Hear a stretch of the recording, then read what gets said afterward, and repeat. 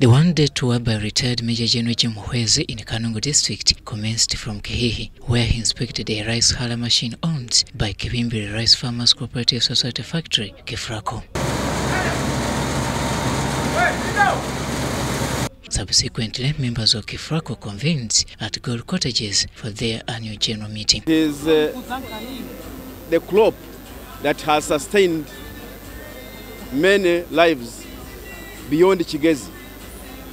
We even export this rice. a positive development to see people uh, from different districts cooperating uh, under a common um, adventure like uh, rice growing. The meeting, predominantly attended by KIFRACO members and stakeholders, addressed various challenges faced by the session, including mistreatment by local police.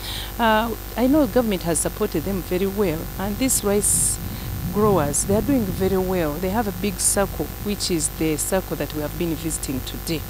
I appeal to the government that if they can add in more effort, add in more money to these growers, so that they can be able to increase their growing and their in output, it will be very good for our people here. Among other issues raised were misuse of SACCO funds, which Minister Jim Muhwezi certainly warned against, emphasizing it is violation of the country's laws. And it's a crime. It is theft, it's embezzlement.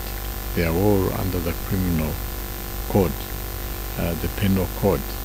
Uh, so um, I was teaching them that they should fear touching uh, money for the these uh, SACCOs. The delayed progress of government irrigation schemes in Kanungu was also highlighted, with Minister Jim Muhwezi pledging to address the matter. This irrigation scheme that is a mega that is coming uh, funded by World Bank should be uh, expedited.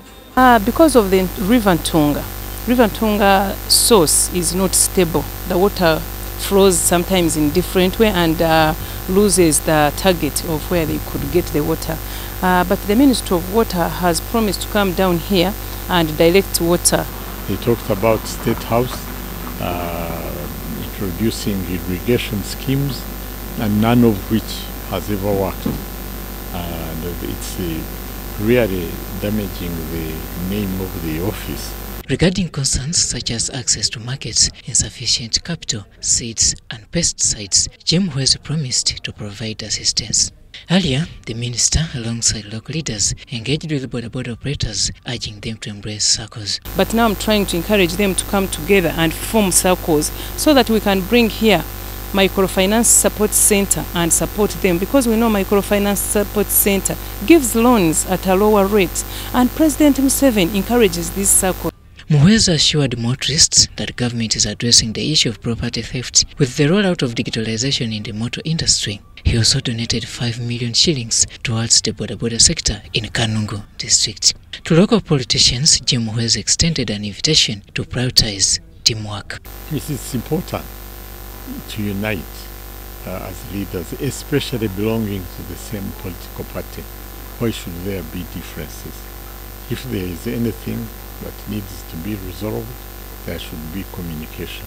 They should sit down and talk. Robert UBC News, Kanungu district.